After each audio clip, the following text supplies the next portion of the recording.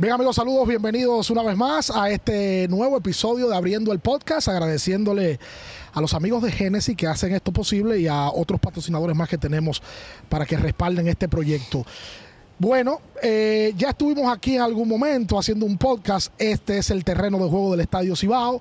Aquí estuvimos haciendo a Luis Polonia y en el día de hoy vamos a entrevistar a un hombre que tiene muchos años que no habla con la prensa dominicana porque no reside en República Dominicana, que dio mucha agua de beber porque es el típico pelotero que cuando se paraba en el home, el contrario andaba temblando, sobre todo el contrario liceísta título de bateo dos veces en la liga, líder de anotado una vez, líder de hit, líder de base robada, líder de triples, entre otras cosas que él va a adornar en el proceso de la temporada.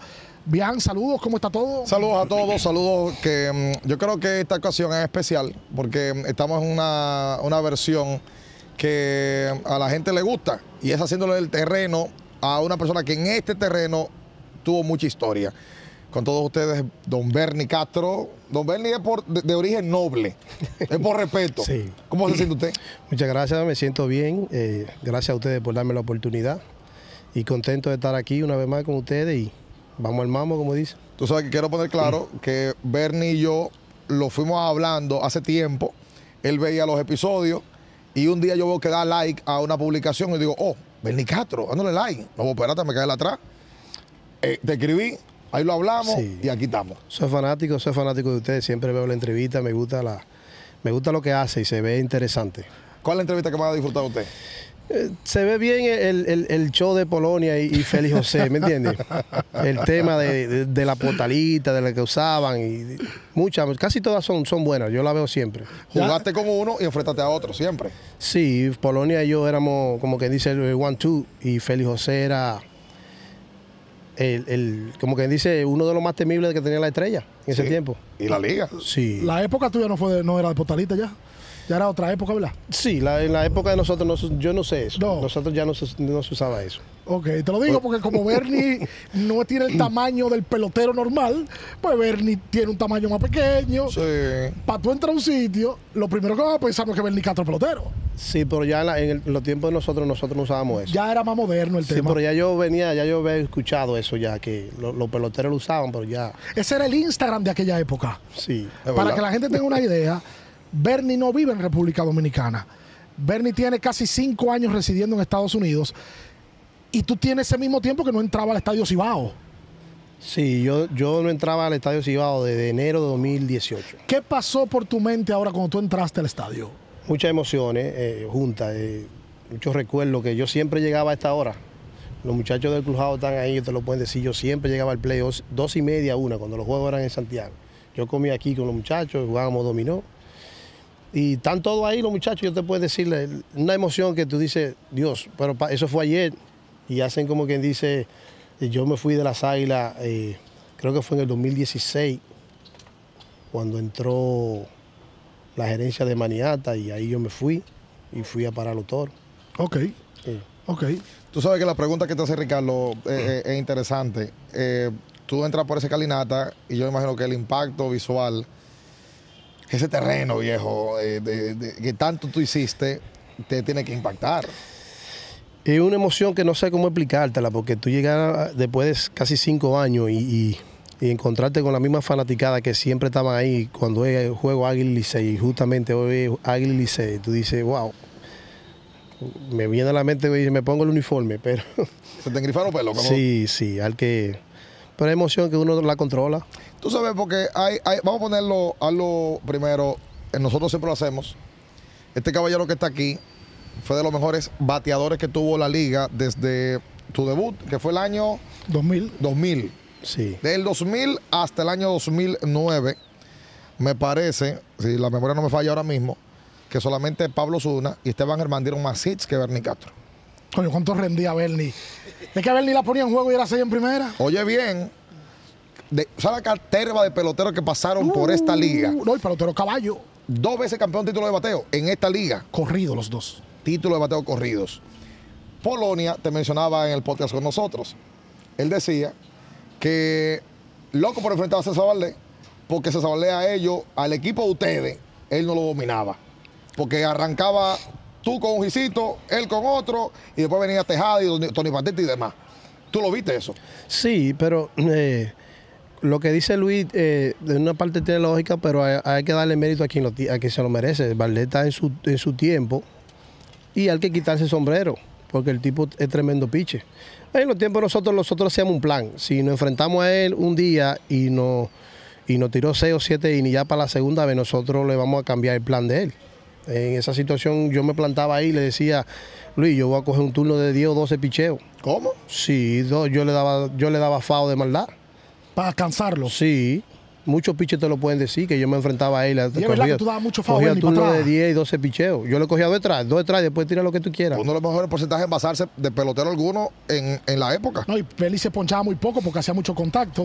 Vamos para atrás, Bernie, porque aquí hay mucha gente que, aguiluchos, que han escuchado a Bernie Castro, que fue parte del mejor equipo que han tenido las Águilas Ibaeñas en nombres, pero que no lo vieron jugar por un tema de que nacieron en otra época. Sí. Tú eres de Villa Vázquez. Yo soy nacido y criado en Villavaque. ¿Cómo empieza Bernie Castro y el béisbol? Yo soy de un campo que le dicen La Brígida, eh, pertenece a Villavaque, y la situación ahí era un poquito difícil. El play me quedaba lejos, la escuela me quedaba lejos. Yo caminaba eh, diario para llegar a la escuela unos 4 o 5 kilómetros. Y un día yo le dije a mi papá que no iba a estudiar más porque me quedaba demasiado lejos la escuela. Jugábamos los domingos. Y mi mamá vivía en Esperanza. Incluso mi mamá me quería llevar para Esperanza porque había un señor que, que me había visto jugar y decía que yo tenía talento. Y ese día yo le dije a papá que no volvía más para la escuela, que me iba para Esperanza. Y papá me dijo, recoge, que te voy a llevar. Me fui para Esperanza. Eh, llegué a Esperanza. ¿De qué Eh, edad estamos hablando? Yo tenía en ese tiempo 15 años. Ok. Y cuando llego a Esperanza, mi mamá me quiere poner a estudiar. Yo le dije, doña, eh, yo, no, yo no vine a estudiar aquí.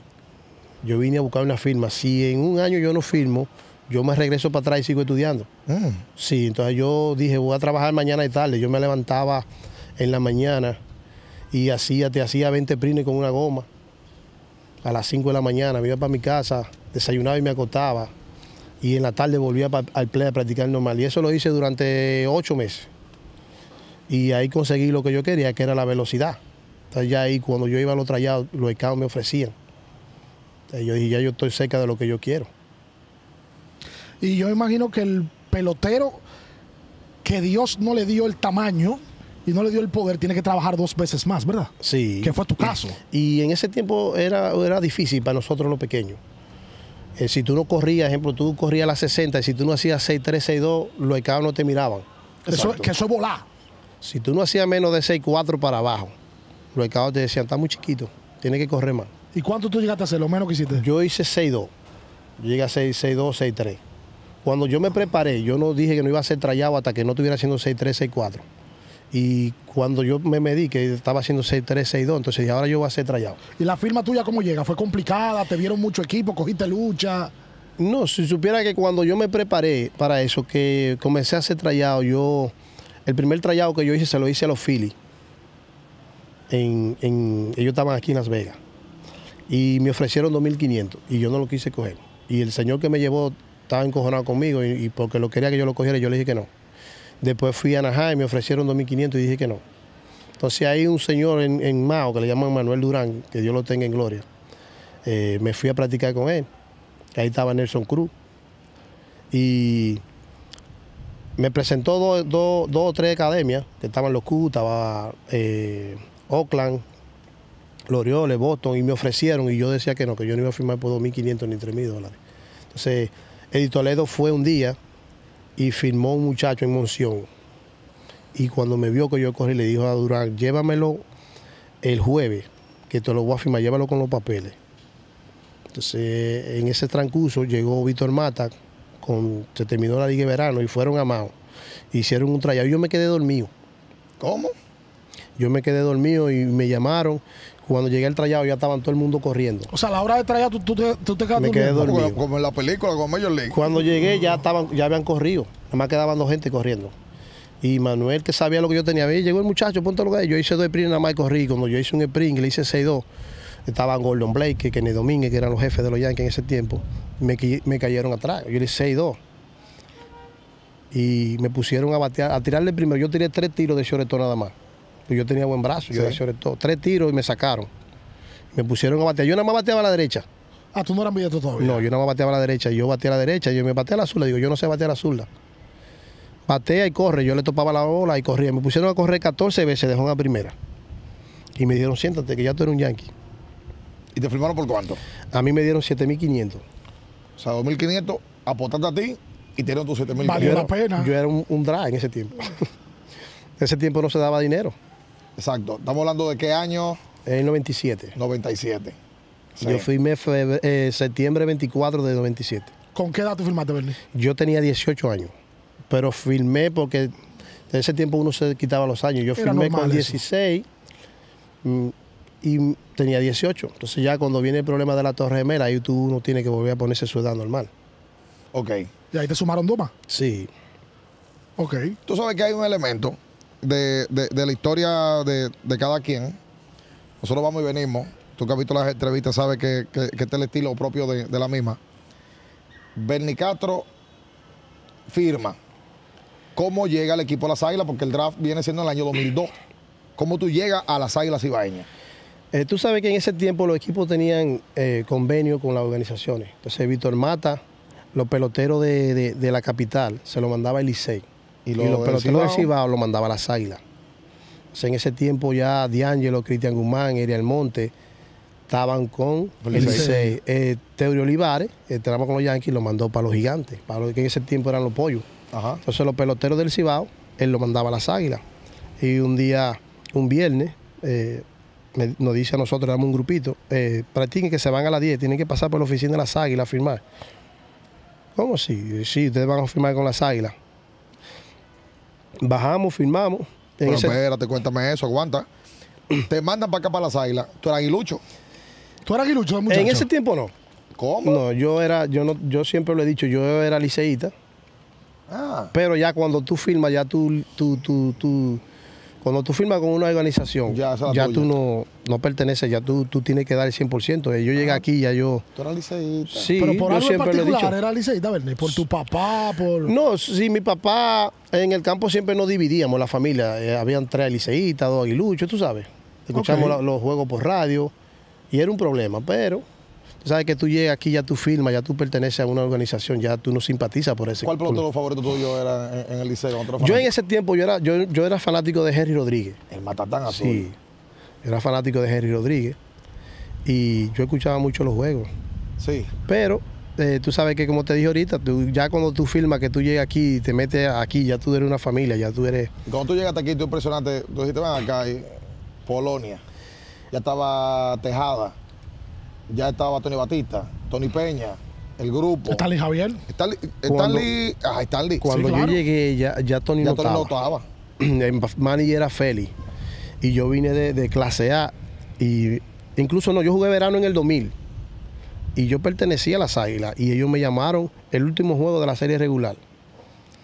Que estaba arriba y que jugábamos en la capital. Yo estaba en Villavaque. Y mi papá tuvo que traerme en volanta para acá. Llegando yo aquí, se iba la guagua. Me monté en la guagua. El último juego de la regular. Sí, me dieron un turno ese día. Yo cogí un turno y di una línea del. Y yo viajé ese año, jugué clase A. Cuando yo vine ese año, eh, Feli vio los números. Yo ese año me robé 77 bases. Y me perdí un mes, 15, 10 días sin jugar. ¡Wow! Y cuando Feli vio los números, eh, él le preguntó a Manuel. Y como Feli de Mao, Manuel le dijo, ese muchacho tiene que jugar contigo, Feli, dale un chance para que tú veas. Y al año siguiente, No ese mismo año en entrenamiento, cuando empezaron los entrenamientos, estábamos en la Pucamalma y yo, cuando yo llego ahí, que estamos en entrenamiento, yo veo a Guillermo García, el Gatico, el difunto Mario Encarnación, Fernando Hernández. Yo digo, ya esto no es televisión, esto es real. Exacto. Y con caballo. Sí, O sea, ya tú, ya tú llegaste, a- a- esa es la primera impresión de, espérate, tú llegando a un equipo que venía de ser, no, el, si eso fue en el año 2000, el Licey había sido el campeón, ¿verdad? sí. Temporada, tú arrancas la temporada No, 2000. no, las Águilas fueron él habla campeones. del 2001. Ah, 2000, Porque la 2001. del 2000 es la que él coge el turno. Exacto. Sí. Que es 2000-2001. Las Águilas fueron Exacto. En campeones. el Campeona, sí. 2001 contra el 2002 escogido. Contra el escogido. Tú hablas del 2001-2002 ya cuando tú te estableces en la liga. Exacto. Que por- pero que tú dices, tú vienes de Estados Unidos, Félix sabía que tú te ibas a robar 70, Entrenamiento. pero tú tenías que ganarte la posición Sí. porque ahí estaba el gatico, ahí estaba fulano, ahí estaba Tejada, joven todavía. Empezaron, Bueno, lo- empezaron los jueguitos de entrenamiento y entre nosotros mismos, me dan juegos, me robo una, me robo dos. En cuestión que en entrenamiento como en cinco o seis juegos que jugamos, yo me robé como ocho bases. Y Feli, y me, me acuerdo yo que Alejandro, Alejandrito Tavera, que era el coder tercera, le dijo a Feli, ese muchacho tiene que quedarse en el equipo. Ese muchacho me gusta mucho. Él me, Fe- eh, Tavera me puso el jabao El jabao. y me dejaron para correr la base. Incluso cuando empezó la, la- la temporada que me dejaron para correr la base, yo llevaba seis bases robadas sin coger un turno. Te metían de En la temporada. Sí. sin coger un turno se envasó, ejemplo, Alberto Castillo o, o- o Guillermo García en octavo y iba a correr. Yo- O sea, tú eres el Jeffrey Pérez de la época. Exactamente. Eh, viene el caso de José Ortiz, eh, tenía que viajar a Estados Unidos Wow, sí, José. y meten a Dionisesa en la romana y Dionisesa se, se lesiona una jugada con, con Kelly Ramos el amuleto. en el en, en, en el home plate. Kelly Ramos, que era catcher del Sí, Licey. de los toros. En ese momento. Sí. Entonces ahí Feli me dice, Castro, va para adentro. Yo dije, bueno, esto es, lo, esto es lo que yo andaba buscando. Una oportunidad. Y di- ese día batí de todo. Pero ese año tú fuiste el título de bateo, ¿verdad? Sí, pero ya eh, la temporada iba como en el juego número 10.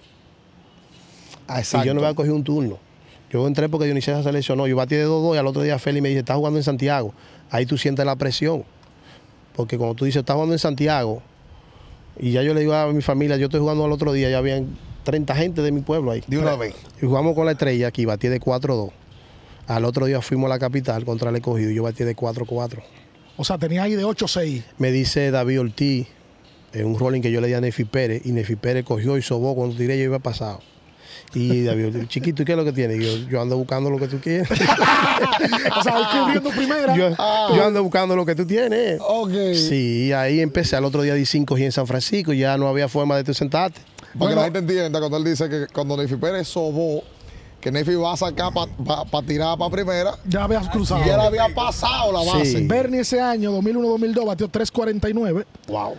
con 22 años de edad debutando en la liga. Sí. ¿Cómo, ¿Por qué la adaptación tan rápido? O sea, no es solamente de ganarte la posición, sino de ese título de bateo de la liga. Yo digo que sería la, la- la- la fanaticada. Eh, yo siempre fui un muchacho desde pequeño que me gustaba jugar con fanáticos. Me gustaba la, la adrenalina. Ok. Yo si yo iba a un play y no había fanáticos no quería jugar. Entonces yo digo que será la adrenalina, la, la fanaticada, Que te, que te, que te motiva. Y sobre todo esta fanaticada de aquí de Santiago, que es especial, ¿verdad? Tú, tú, tú llegas a los play, ya tú estás en Dominicana, que tú entiendes lo que te vocean, es diferente. Ahora, a Bernie se le dio el tema porque, oye, gana, gana, Gana título de bateo y gana campeonato ese, ese- mismo año. eso te iba a decir. Se gana la posición, Sí. título de bateo, Ujú. y las Águilas Ibañas son campeonas. O sea, a ti el éxito particular y colectivo te llegó rápido. No, ese año nosotros perdimos, acuérdate que ese Así fue, la- se fue el ese fue tulilazo. hombre. Sí, hombre, eso fue 2001-2002. Sí, Ahí eso es fue, Cuando él se establece. Ahí sí, es verdad. Ustedes ganaron al año siguiente que le ganan al escogido. Ese año yo fui título, título en bateo de base robada y anotada, pero cuando empiece el Robbie yo no empiezo jugando. ¿Por qué? Porque, te Porque era la, hora, era la hora de los hombres, supuestamente, ¿sabes qué así era que se usaba O antes? sea, llegó Miguel Tejada. No, Tejada estaba jugando, el Gatico en segunda, Tony en tercera, y nosotros teníamos los primeros cuatro juegos, cuatro ganados y cero perdidos, y jugamos en la capital ese día, y nosotros nos pegamos de provoco a comer, y le digo yo, Feli, yo miro a Feli, yo relajaba mucho con Feli, y yo, entonces tú no me vas a poner a jugar. Y si está bien, está jugando mañana. Y yo le dije, ¿y si yo doy cuatro y mañana qué tú vas a hacer conmigo? Y yo, ¿Qué problema es este contigo? Y yo, está bien, déjalo ahí. Contra los toros. Y le batí de 4-4. el primer turno dijo ron, por ahí. Un primer- el único jorrón que di a la azul aquí. Mentira. Sí, después di- de batí de 4-4 y cuando damos para allá adentro me dice, Felipe, acá ya ahora. Digo yo, eso es un problema tuyo. ¿Cómo te No me, sentar? no me pudo sentar. Entonces, eso, tú sabes que yo tenía confianza en mí, con lo, peor que, lo mejor que le puede pasar a un pelotero cuando tú tienes confianza en ti. Eh, tener confianza. Ah, Ahí vamos a detener un, poti- un, un poquito. Porque lo que tú acabas de decir es una, es una cosa bárbara. El título de bateo, el champion bate de una temporada Le la anotada y de robada. y está sentado. No, eso es una locura. ¿Cómo así? Por más que tú sabías que llegaban los caballos, no puede ser que un ser humano esté conforme con eso. Eh, yo como novato en ese tiempo yo no estaba conforme, pero tenía que adaptarme a las reglas. Porque yo entendía que Tejada y Tony y el gatico se merecían por, por ser, tú rangos sabes. que tú tienes Ya- y entonces venía un es un equipo que viene de ganar. Ellos son campeones. Yo no puedo venir aquí, aunque yo fuera líder de bateo, eh, a venir a cambiar la mítica Félix. Y te decían a alguno de ellos algo. No, no, nosotros éramos una familia, O sea, muchachos. te decían algo de, oye, tranquilo. Oh, sí. Oye, vamos, bien. Tú sabes que Tony y, y- y Tejada eh, eran un, un- un mentor para uno. Tejada siempre te dice, tranquilo, que tu chance te llega, no te preocupes. Mantente ready que tú vas a jugar. Y tú sabes que muchos familia de uno, amigos de uno, oye, si no te meten, vete, qué sé yo Te qué. llena la cabeza. Sí. Y había, había rivalidad con, con el gatico, porque la forma de él pareciera que es un tipo muy competitivo, del gatico. Y tú sabiendo que tú tenías los números, ustedes tenían buena relación, había roce en el momento, la rivalidad hasta dónde llegaba. No, no, no. El gatico es el mejor compañero de equipo que tú puedes tener. Ah, sí. Sí, el gatico no tiene problema. El gatico es el problema él con lo contrario. Ok. Cuando él, tú estás dentro del play. Pero el gatico no tiene problema con su Oye, compañero. oye, con nadie. Oye, esta. Round Robin 2001-2002. El mismo que lo sentaron. Como quiera cogió 49 turnos. Bateó 490. Sí, el promedio más alto de por vida. El. Diañe. Ahora no, ¿eh? 53 apariciones, 49 turnos, 24 hits, 21 sencillos, 2 dobles, un triple, 4 remolcadas, 490 y 510 de envasarse. ¿Y estaba sentado? Y estaba sentado. No, después de ahí. Sí, pero el problema, arrancó, batía. el Oye, problema, no es que- participó en 13 partidos, son los 18. el problema no es sentado, porque tú no puedes venir a cambiar la mítica a un manager ganador. Y Feli, el equipo, Feli es de los managers, por eso fue exitoso. Que el equipo que ganaba hoy jugaba el otro día. Él no, ni ponía la. No, tú ganabas hoy, vete tranquilo Tú que tú vas a sabías jugar, que- aunque te fuera de 4-0. Y Feli era así, había que respetarlo. Eso pero fue- eso yo relajaba mucho con él. Claro. Eso fue un añazo, porque como tú dices, ustedes van a la final y en este mismo estadio hubo uno de los acontecimientos de los batazos más históricos que se han dado en la pelota invernal. Ahí va todo con lo mismo. No, que es el turilazo. Todos los aguiluchos Mi alma te lava. tienen su punto de vista con relación a esa final. ¿Qué tú puedes decirnos de esa final y de ese momento en específico? No, indiscutiblemente para mí ha sido la mejor final que se ha jugado en el Lindon. ¿Cómo? aunque nosotros la perdiéramos. Porque nosotros los aguiluchos lo sufrimos de corazón. Eso fue como una puñalada que te dan. Yo estaba jugando segunda. Cuando él la sacó, yo no me agarré la cabeza porque yo era el que abría el INI, el INI siguiente. Entonces ya nosotros teníamos todo preparado y viene el tulilazo. Eso es cosa que yo duré tiempo que no, no podía sacarme ese palo de la cabeza, pero es normal porque que, si tú fuese lo mismo, tú dices, tú vayas adentro y tú dices, no es fácil. Alberto Castillo nos contó que en el episodio, en el noveno, cuando viene a batear Andy Abad, entran todos. Tejada y Tony Batista le dicen, oye, recta, tú estabas ahí en la reunión y Castillo quería pedir un sinker. Y bueno, yo tengo que pedir lo que los caballos me pidan. Al final de cuentas, sale el cuadrangular. Castillo se defiende, Castillo dice, bueno, eh, fue lo que los caballos dijeron, que eso lo hicieron ahí. La decisión era no tirarle atrás el primer picheo, porque él le hace swing el primer picheo, le hacía swing el primer picheo y no le podía ir por el medio. Entonces, Alberto quería un sinker y los otros, tú sabes, vamos a abrirle con recta afuera, pero se le quedó medio a medio, Y ahí es que saca. porque el swing, swing el primer picheo. Él falló el blanco y le dejó un picheo Ya lo sabe. medio a medio. Pierden esa final, pero luego de ahí las águilas, que eran una estructura muy sólida, empiezan a malacostumbrar al fanático, porque iban todos los años a la final. Ustedes fueron a final 2002-2013, quedaron en la 3-4, que fue el Licey Gigante, y luego de ahí fueron cuatro de manera consecutiva. Tú ganaste cuatro finales, Bernie.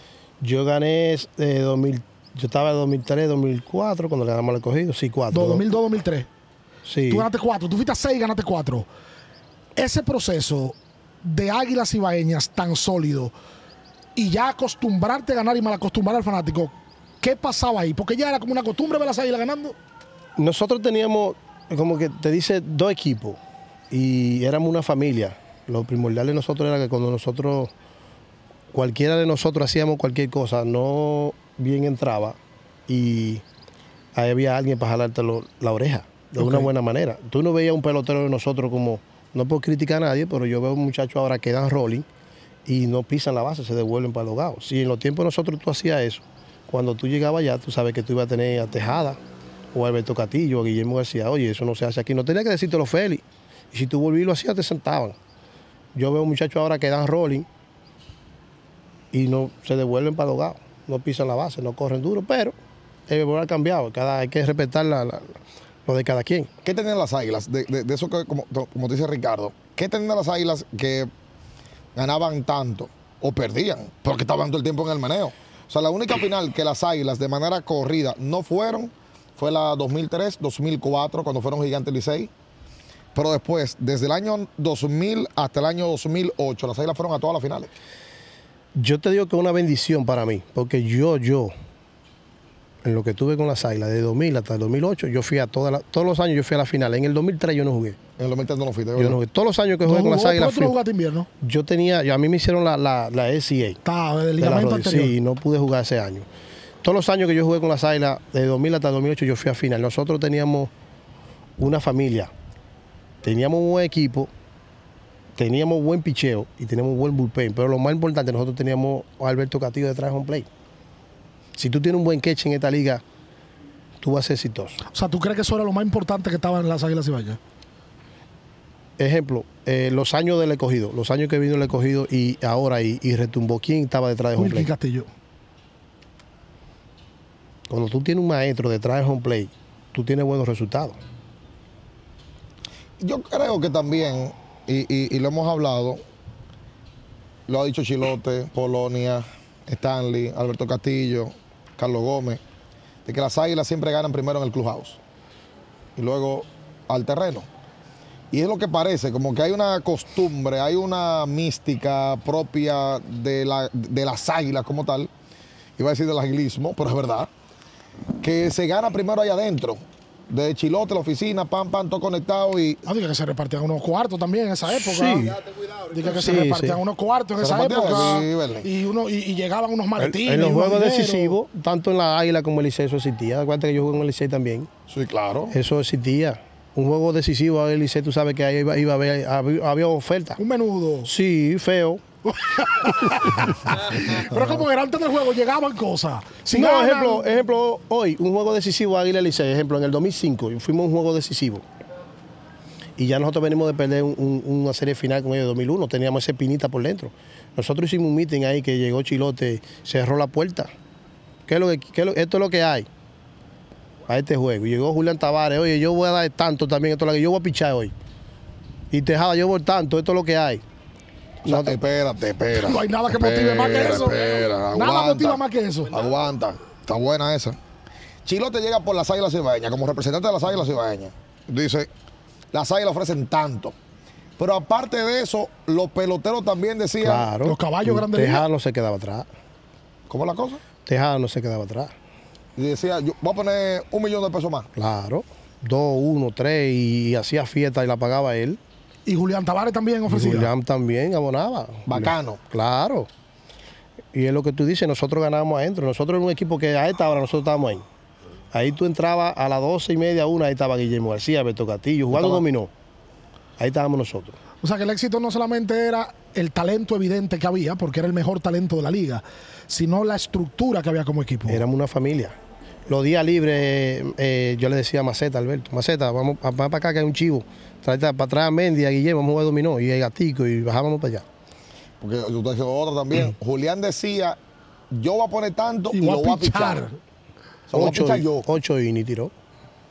esa vez Sí. y ganan el juego.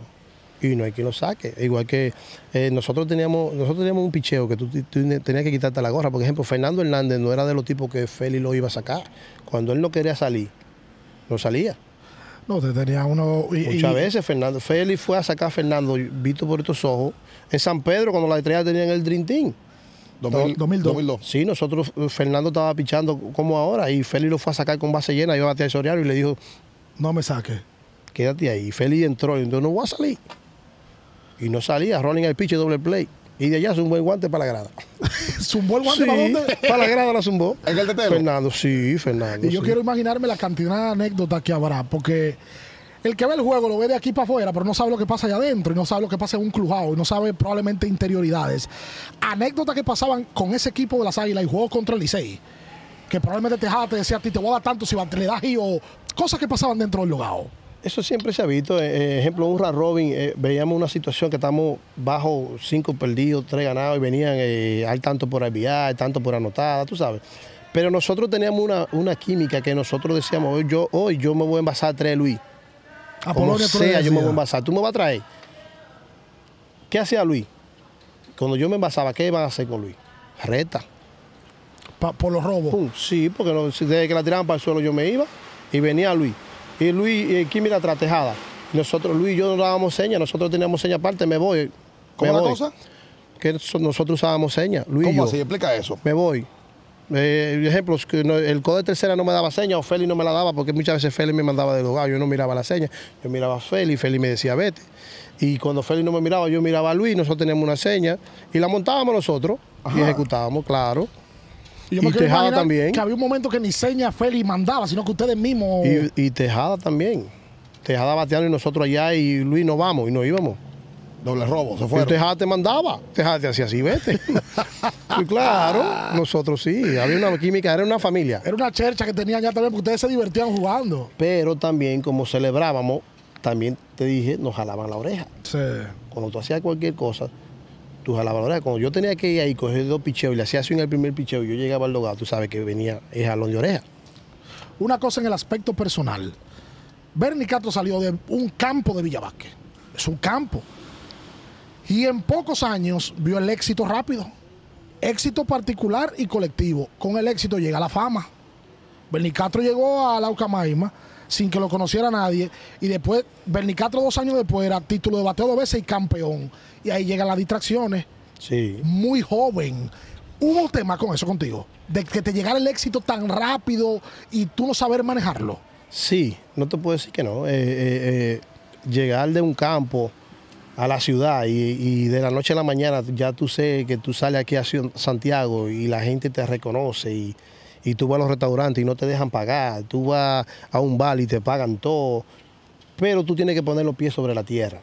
Pero cuando, cuando uno es joven es difícil ponerlo. Sí, pero eh, eh, es muy difícil tuve una gente del campo que no sea humilde. Ah, bueno.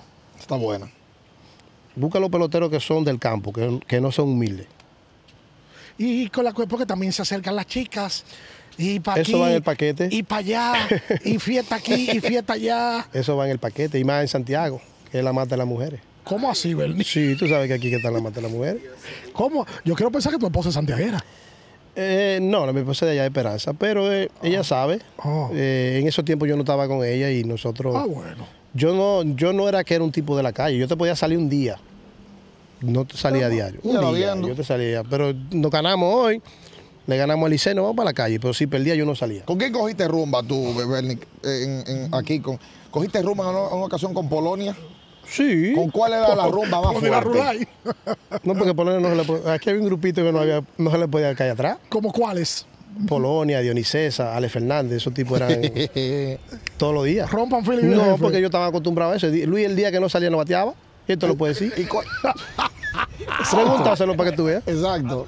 Eh, es verdad. ¿Y cuáles eran pasivos? No lo fuñan con nadie, tranquilo, su pelota, para su, pa' su apartamento, para el hotel. Mm, Alberto no salía.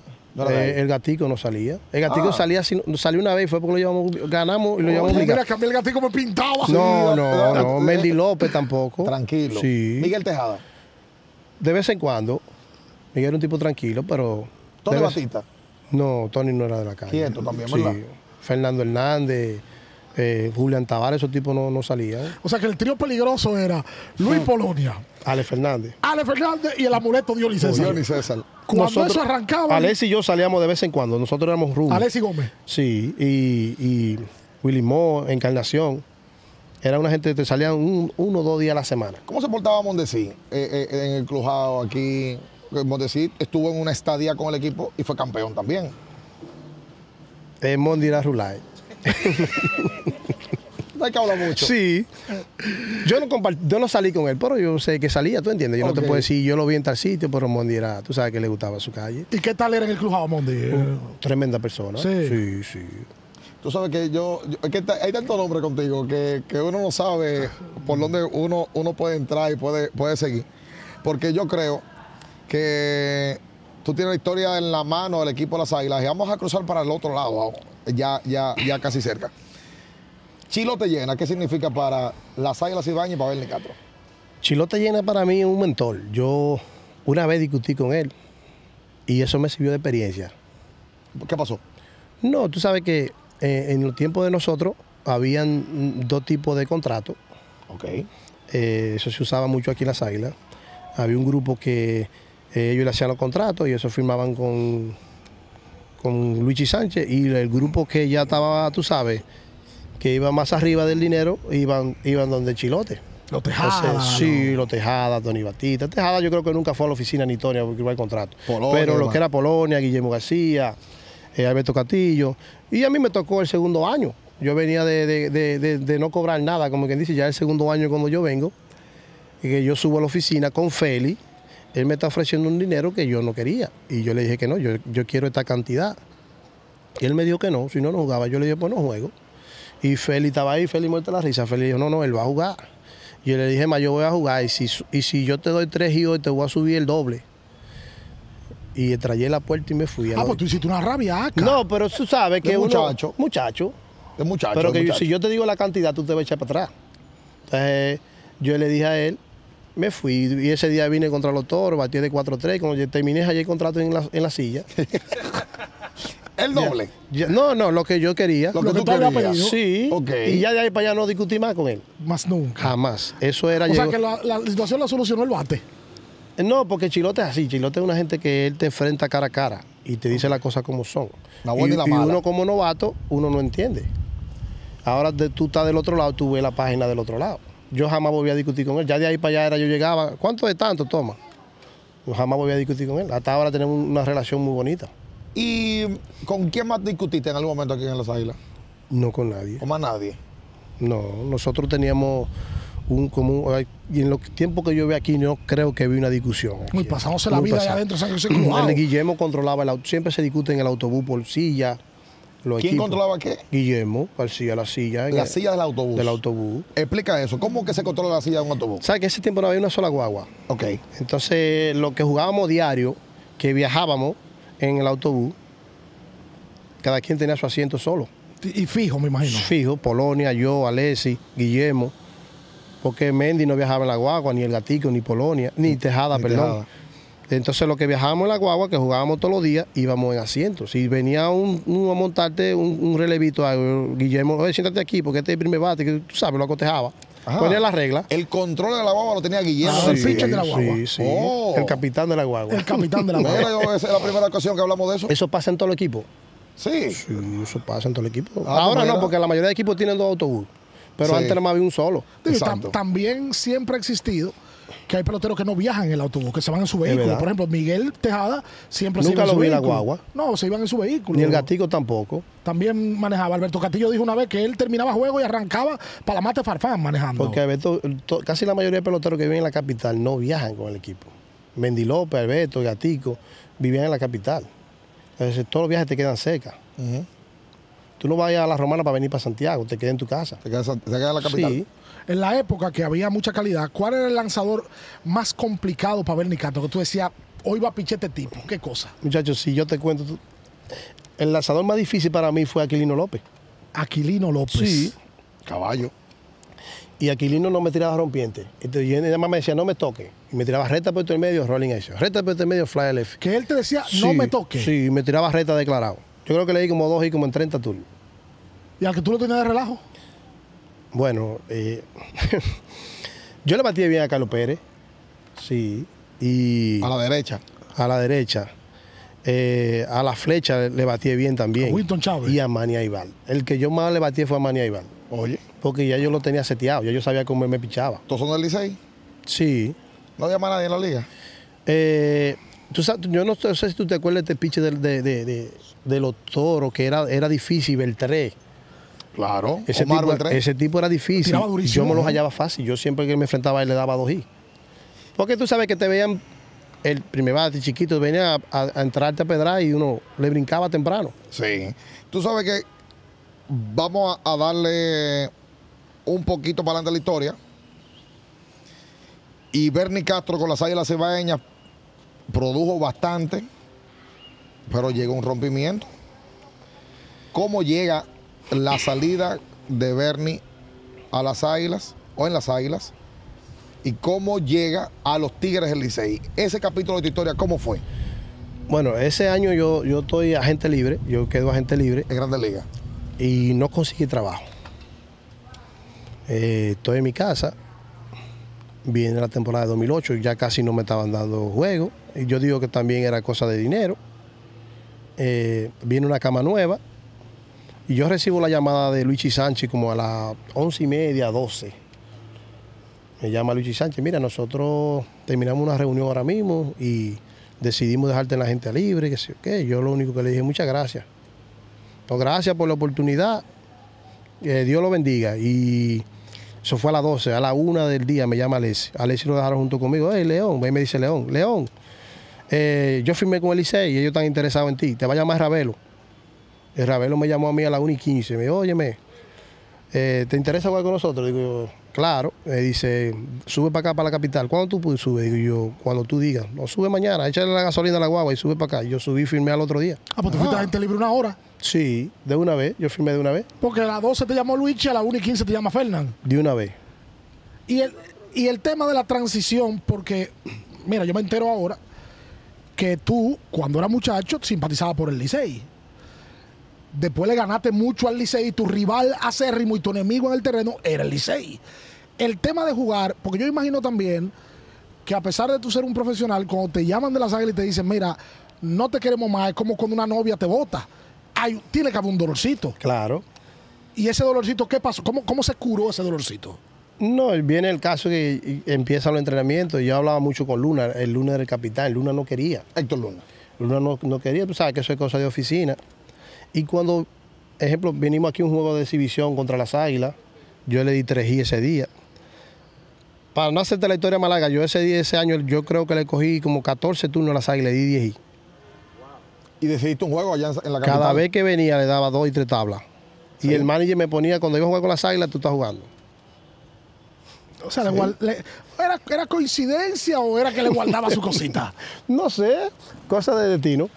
Bueno, Y- in- incluso Bernie, su primer año con el equipo de los Tigres del Licey, en 39 partidos, 136 turnos y le batió 2.93 al equipo azul. O sea, le, le- le rendiste la primera, en el, primer año a Ravelo. si ellos no, se, llegó un momento que Timoniel y yo estábamos bateando casi uno detrás del otro, líder en bate.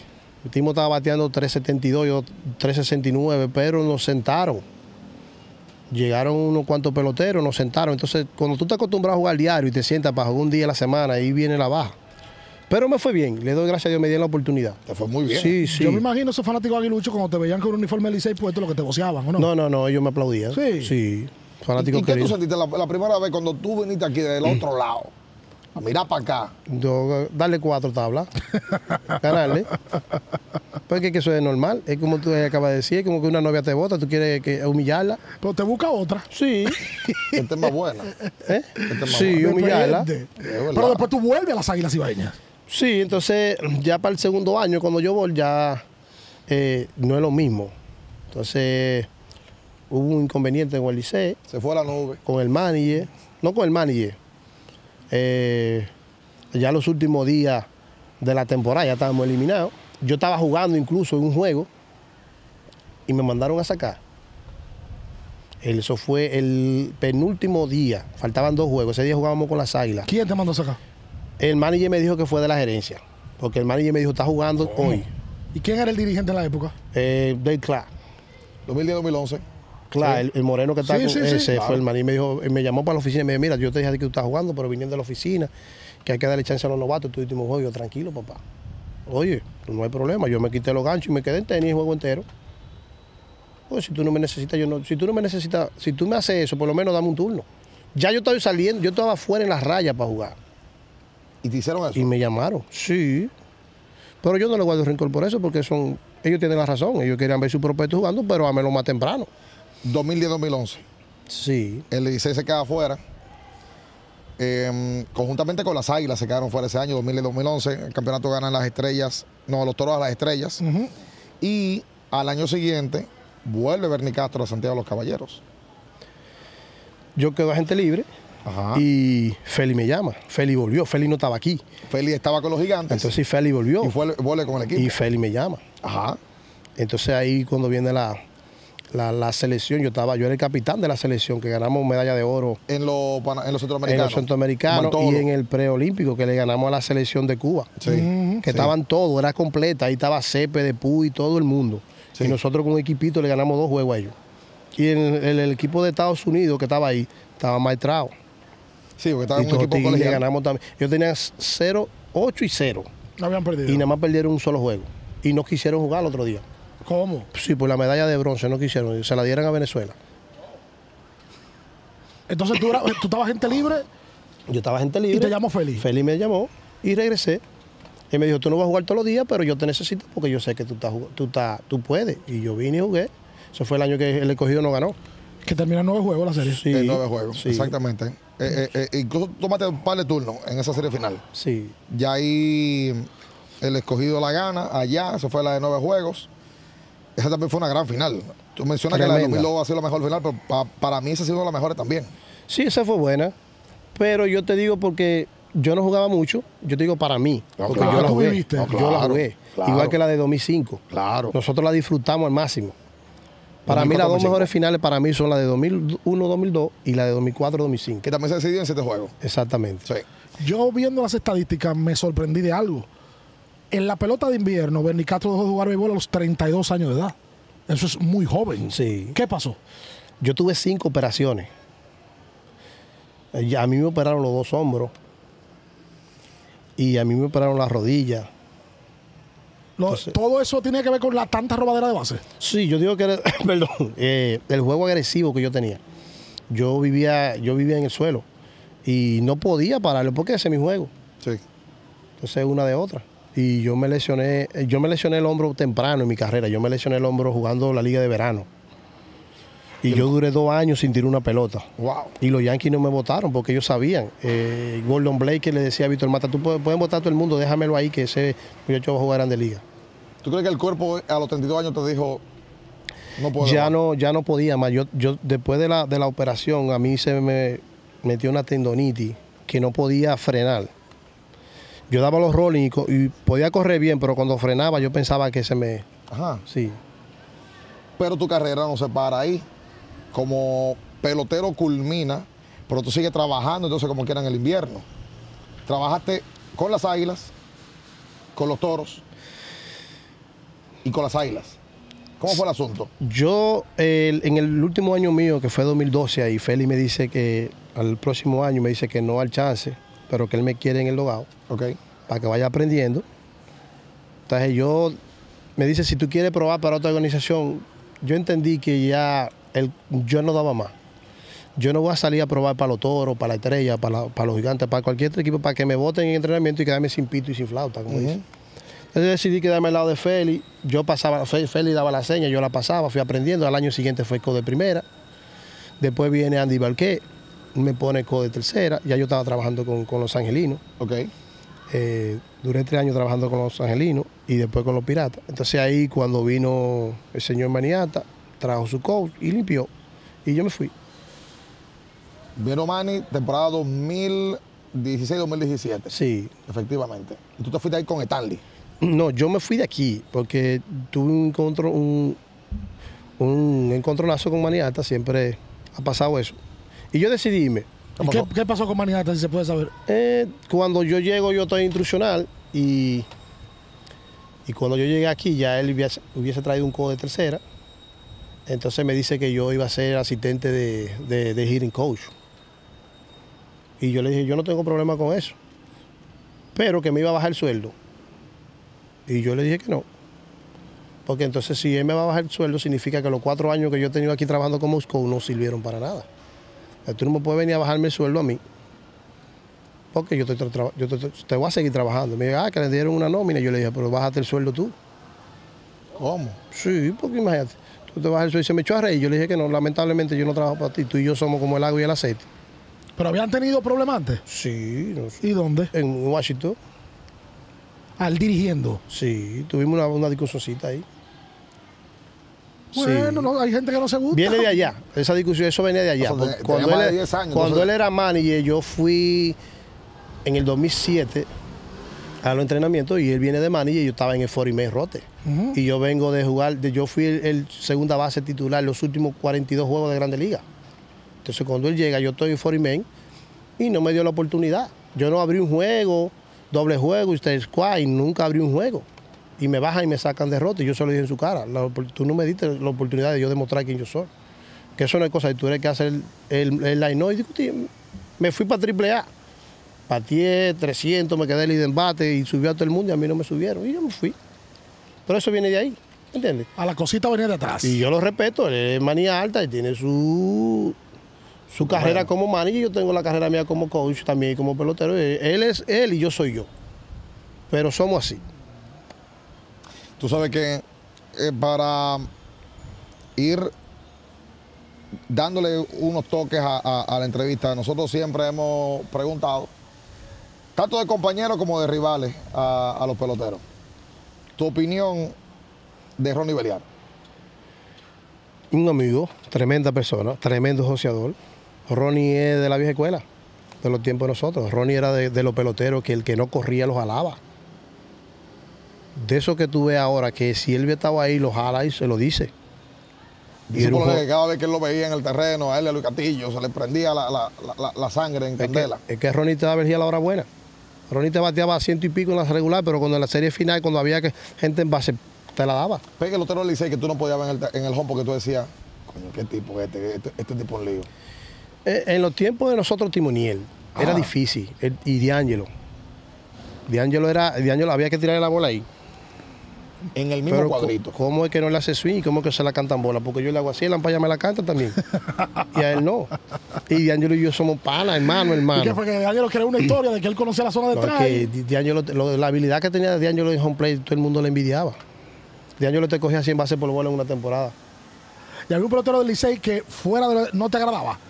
Que tú decías, este tipo, pero a mí no me cae muy bien fulano. No creo, no. Yo no tuve.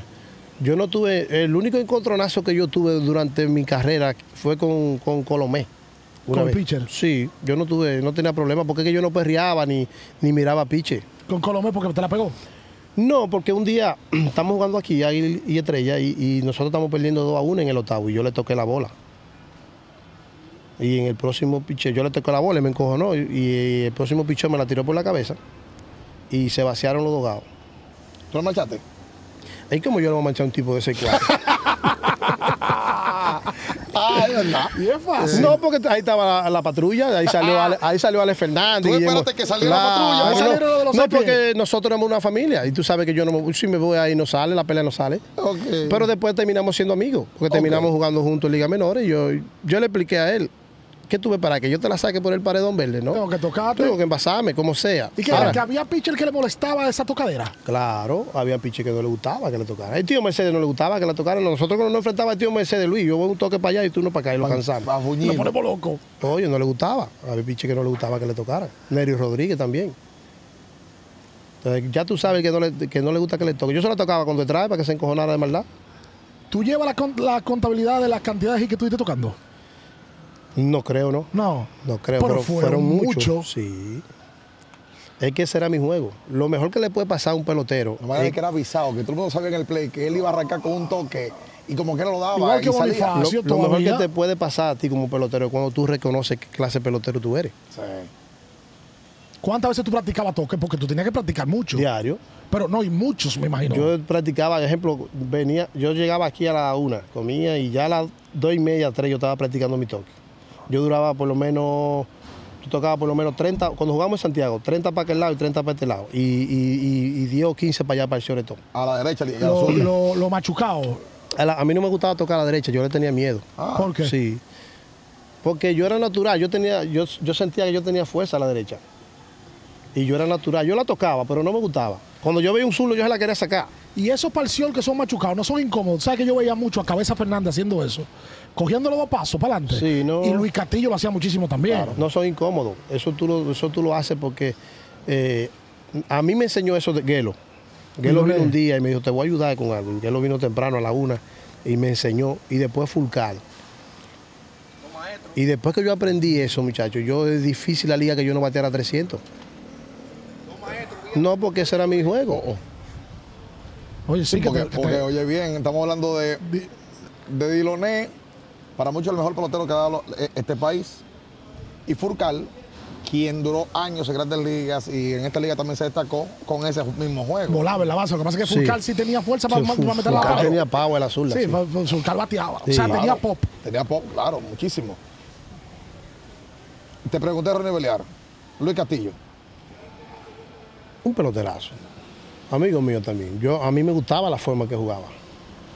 Porque era el típico juego que yo ¿Estilos jugaba. similares? Sí, Un y yo, lo- yo lo miraba a él, yo lo miraba porque él era un tipo que llevaba el conteo profundo. Ise Alcántara. Una checha. Mi roomie. Fuimos roomie cuando yo estaba con Eliseo, tremenda persona. ¿Es verdad? El varón. El varón. El varón. el varón. Tú sabes que para, para cerrar, por lo menos de, de- de mi parte, yo creo que mucha gente se preguntará ahora mismo, ¿qué está haciendo Bernie Castro? Yo radico en la ciudad de Nueva York y yo ahora mismo estoy en una academia. Bernie Castro Baseball Academy está en, en- en el Bronx ahí. ¿Cuántos Y- niños eh, pasan por la mano de Bernie? Eh, normalmente semanal, unos 20, 25. Ok. Sí. Ah, pues concentrado. En el frío. En el, en el verano nosotros tenemos unos 50 o 60 muchachos. Ok. Sí. Yo, Y yo- el- yo estoy, está- haci- yo estoy haciendo unos cálculos ya. ¿Tú- tú- ¿Cuánto que tú vas a Déjame hacer cálculos. ¿Cuánto a que- mí cuánto que cobra por A mí hora? me dijeron, no, se puede decir eso, ¿verdad? Sí, sí, Sí. sí. Bueno, porque está ahí. Depende. ¿Cuánto cobraba? 100, 150. Depende, la, la privada, la privada tiene un precio y cuando es en grupo tiene otro precio. Nosotros, nosotros vendemos paquetes, La privada, por ejemplo. La privada- de 10 años y quiero llevarla donde Bernie Castro. 125 dólares por hora. La hora. Sí. Eso es privado. Una privada, Privada. sí. Sí, Porque- pero espérate. Pero que tú tienes Eh, que pagar el Te está dando clase el, el tipo que va con título bateo. Tú Buen estás pagando 60, nosotros pagamos 60 por hora en un batting cage. Eso es indoor, eso es Sí, bajo techo. bajo todo. techo, sí. Vamos Con a una buena grama promocionarlo. artificial y todo. ¿Dónde están ubicados, Bernie? Nosotros estamos en la, en la 262 y Broadway. Ok. Ahí está la, el batting cage. Eso es dominicano puro por ahí. Eh, sí.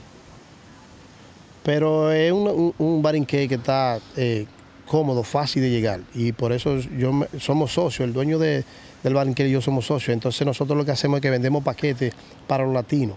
Ok. Eh, Te vendemos paquetes de, de 12 semanas, tú coges los días que tú quieras. Ejemplo, tú dices, yo voy a coger paquete de tres días, yo lo voy a llevar el niño lunes, miércoles y viernes. Nosotros trabajamos de lunes a viernes de 5 y media a 7 y media y los sábados y los domingos de 11 a 1. Ok. Ah, Si tú trabajas y tú sales a, la- a la- a las 4 y tú dices, yo puedo llegar a las 5 y media, yo, yo te voy a coger los paquetes de sábado y domingo. O sea, que tú sigues trabajando con, con lo que te gusta y te estás metiendo tu dinero tranquilo. Se pica, Se pica bien. se pica para pagar renta y... y Para pagar los biles, como Sí. ¿Te ves en algún momento en Esperanza retirado? Sí, Viviendo aquí. Sí, Ese es tu sueño. Sí. Eh, me gusta mucho mi país. Ya más o menos eh, los- esperando que los niños estén un poquito más grandes, pero a mí me gusta mi país. ¿Cuántos hijos tú tienes, Bernie? Yo tengo cinco. Cinco. Sí. ¿Y Cuatro, cuál, cuatro cuál es el más grande? El más grande tiene 24 años. No es pelotero. Policía. Policía en Estados Unidos. Sí. ¿Y hay alguno que juega pelota? Sí, eh, eh, el, el, Benjamin tiene 12 años. ¿Y qué tal? Un fenómeno. Ah, lo que yo hacía a la edad de él, no es ni la, él hace a la edad, lo que, por ejemplo, a la edad mía, a esa edad, yo no, yo no hacía ni la mitad de lo que hace. Y, y, y está trabajando para, sí, sí, para yo lo, yo, lo, yo lo voy a traer para acá. Ahora, cuando termine la escuela, lo voy a traer para acá. para que lo entren aquí. Sí, Y, y firma aquí en República sí, Dominicana. lo que pasa es que aquí la firma es más rápida.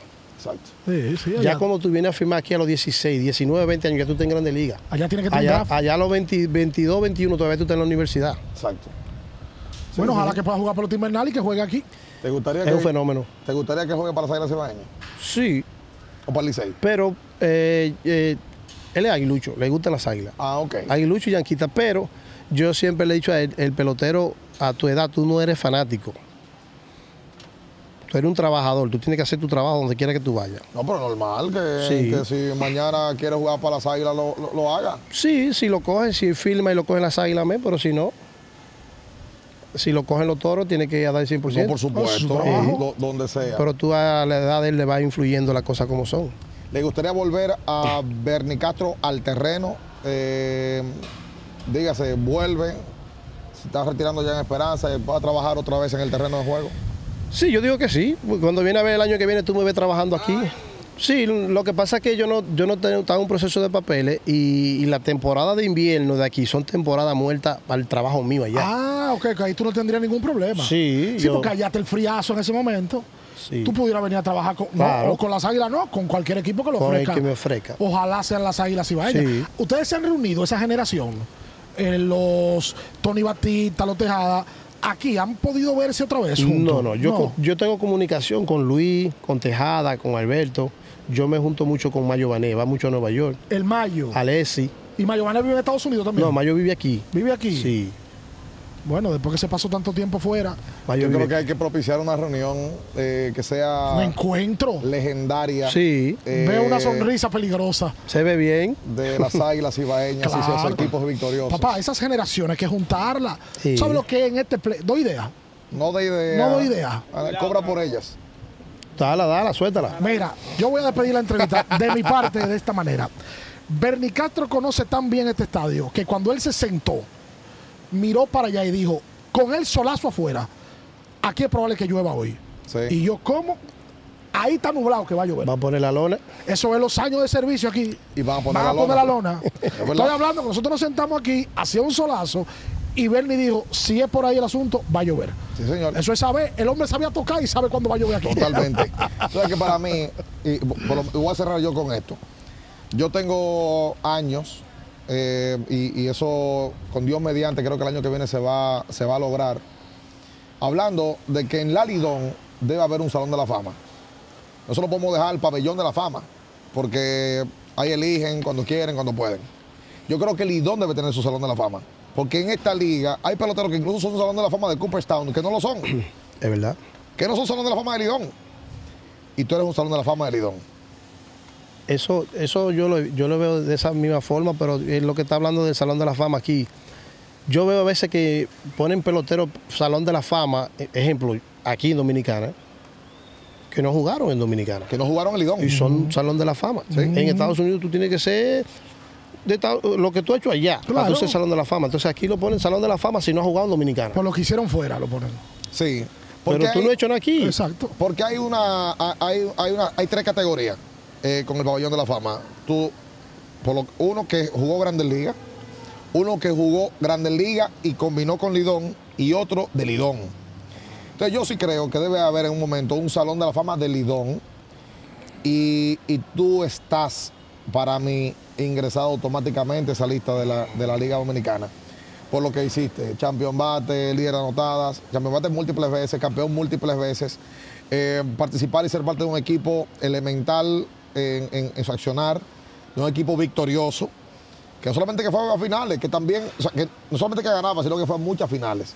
Y para mí, Bernie Castro lo es. Para nosotros es un gran honor tenerte aquí, Bernie, ¿verdad? Gracias, gracias a ustedes y esperamos en Dios que se dé. Yo lo veo, esa idea está bonita, está buena. Y yo creo que habemos muchos peloteros que nos merecemos estar ahí. Yo lo sé. Y Y tú eres uno de esos. De verdad que sí. ojalá se dé. Bueno, nosotros vamos a cerrar eh, en este capítulo histórico del Estadio Cibao, estadio que te vio eh, crecer, eh, a la gente que se suscriba, que le dé like, que comparta esta publicación y recordar que esto llega gracias a Génesis, que, mm, que con nosotros ha estado siempre desde el primer día y Dios mediante estará con nosotros. Nosotros no te dimos trago, pero te manejaste bien. Estamos bien. Aquí en el terreno no se puede. ¿A ti te No. gusta tu, traguito? ¿Te gusta verde? ¿Eh? ¿Te gusta tu A veces, a veces. Sí. Sí. Bernabé, nadie te dice Bernabé. Cuando yo jugaba y me boceaban Bernabé era porque era del campo mío. Ah, sabía, ese me conoce. Ok. Ok. Para nosotros es un placer inmenso. Bernie Castro desde aquí el Estadio Cibao en otra edición más de Abriendo el Podcast.